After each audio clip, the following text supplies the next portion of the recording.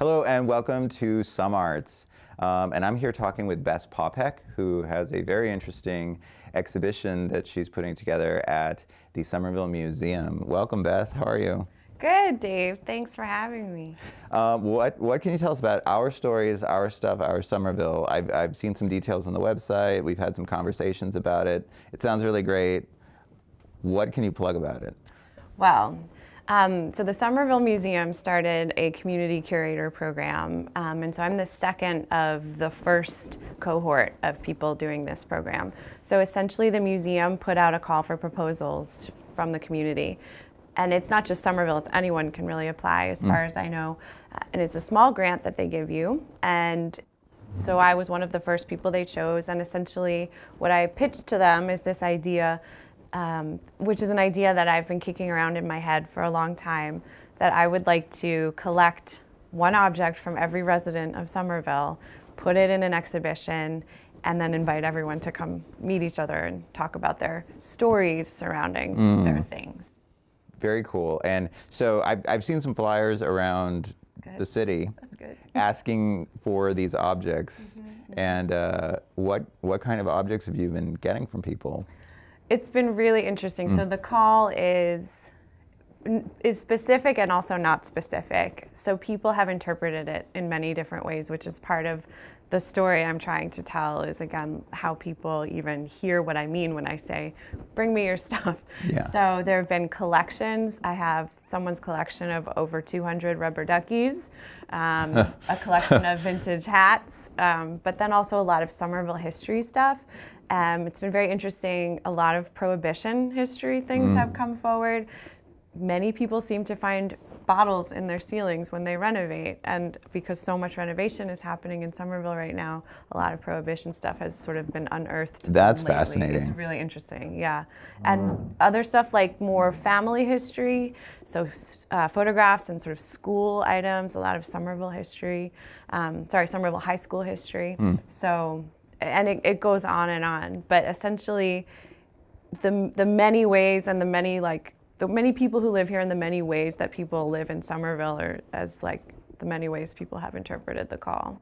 And what prompted you to put this show together this way to connect people and objects in sort of an archaeological fashion? Mm-hmm, mm-hmm. I've been thinking about people's stuff for a long time. I'm a collector of things myself. Um, the literature and the posters for the show, all the Pyrex bowls, that's one of my collections.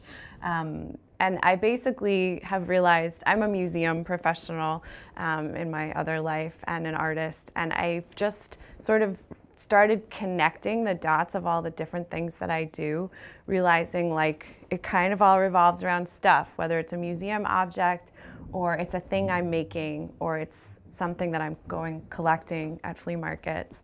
I'm really fascinated by things and the stories that are in them. Mm. So again, like as a museum person, but also um, as a Somerville resident who's lived here for 17 years and has seen a lot of change in the city, mm-hmm. I'm starting to have that feeling about my own city that it's an object that's changing and has stories. And so let's try to try, try to, capture it, try to yeah. document it. Yeah try to extract stories from people. Um, and there are going to be some um, opportunities for people to connect with the objects that mm -hmm. they're presenting to you and to connect with museum goers. Mm -hmm. um, so there's, there's a lot of programming around this uh, exhibition, which is really ambitious and exciting. Um, I guess first we should mention that the opening is Thursday, February 14th from 6 to 8. Mm -hmm. is, is, uh, what, is it a regular like art opening that people can expect cheese, free cheese. Yep, it's absolutely a regular opening. There'll be snacks. That was a terrible question, but no, it's it's it's regular in that very way. There'll okay, good. Cheese, um, snacks, wine, yeah.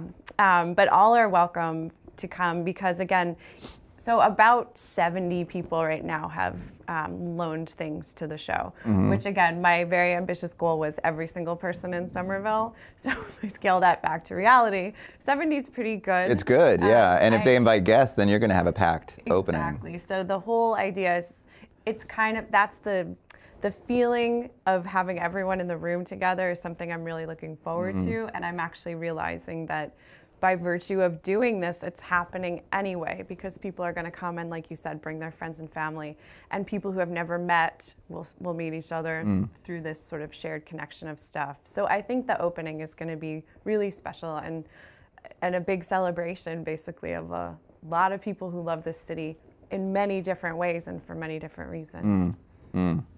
Um, there is also a curator talk on Saturday, March 2nd at 1 p.m.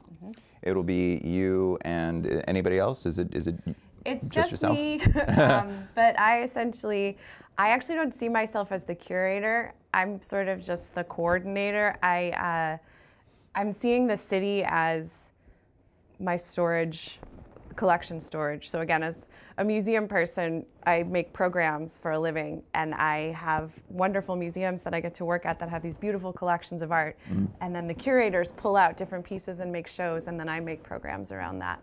This show, I decided to see the city as my storage collection, and every house and building, those are the closets inside my storage room. So I wanted the residents of the city to curate. So they did it by choosing what they put in the show. So that's what I'm going to talk about basically during the curator talk is that process, what that's like, the many, many conversations and house visits I've gotten to do mm. by virtue of this process, new friends that I've made. Um, this city is amazing, and mm-hmm. there's just so many people doing such amazing things, and that's the some of the stuff again that I want to bring out in this in this whole project. Is there is there like a, a big range between like certain groups in Somerville that you're getting objects from? Is it mostly a certain age group? Is it is it uh, are you seeing more of that age group than others? That's an interesting question. Part of the work was to get the word out and to get the word out to everyone, which is very hard work and consistently um, emailing, you know, neighborhood community groups, all the community organizations, hitting all the listservs and the high school and et cetera, because there's so many pockets in Somerville um, different religious communities as well I, I reached out to. So i essentially wanted to make sure i like cast the widest net i could and then whomever's interested that's who comes back. So there are um, it's it's actually a really diverse range of ages and people multi-generational families as well as people who just moved to somerville very recently. Um, and so it's not it's consist like a lot of the S- Somerville high school history, for example, is not surprisingly from older generations of Somerville. But then there's a student who's in the high school right now who brought me a frisbee. Although he told me it's not a frisbee, it's a disc because he plays disc golf. No, he plays. oh gosh, oh my god. Disc golf. That No, sounds no, it's not disc that golf. sounds cool. I'd play disc golf. thing. Um, anyway, he plays a sport with a frisbee, but it's A frisbee-like object, not a not a frisbee. Okay. come to the show and see what I'm talking about. Um, but the range is really, again, like if people felt compelled. And that's to me what's also really interesting is some people who I know really well who helped me sort of get the word out are like, oh, I don't want to participate. I just want to help you. Versus others who I've never seen or met before came with some of the most incredible stuff I've ever seen. So it's really been interesting. That's that sounds amazing. um, and the something that I'm excited about um, Saturday, March 9th, the unofficial Somerville Antiques Roadshow. Um, that that sounds like I have this picture in my head of what that's going to look like, and I I'd like to to know what is the picture in your head about what that's going to be.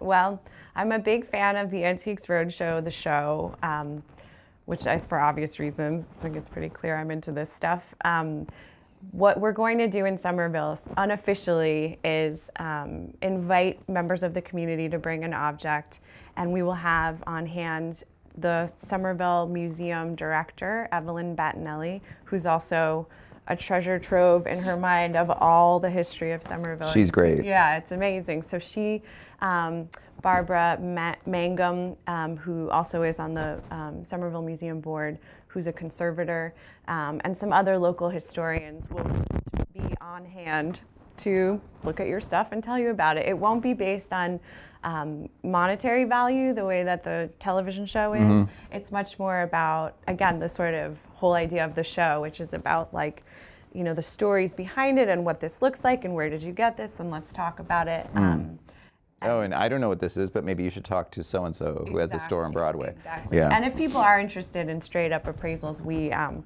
have a few people that we can send them to. Some again, Somerville um, located appraisal um, independent companies. Very cool.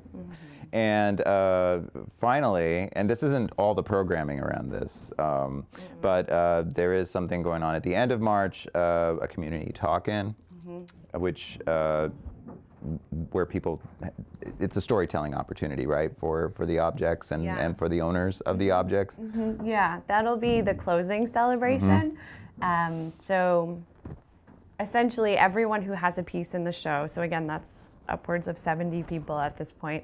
Um, people are still bringing stuff, by the way. You could bring something, Dave, if you wanted to, Oh, by the way. Is there a deadline? No, I mean, there was, but now I'm not saying no if people are contacting me late. All right, So if you I- still want to get something Yeah. in, Like, there's still time. we don't open until the 14th. um, but essentially, everyone who's put something in the show, I'm inviting them to come back on the last day and tell the story of their object. One thing I've done when I took the objects in, um, I had everyone write a few sentences about the object and the story on a little card, which I'll include in the exhibition in some way. But there's nothing like actually hearing people tell you. One of the objects I have is a wedding dress from a Somerville wedding um, from 1873, and I have the also marriage license for that same Wow. wedding. And the dress is only the top half with a little note in it that says we had to cut the bottom half off to make clothes.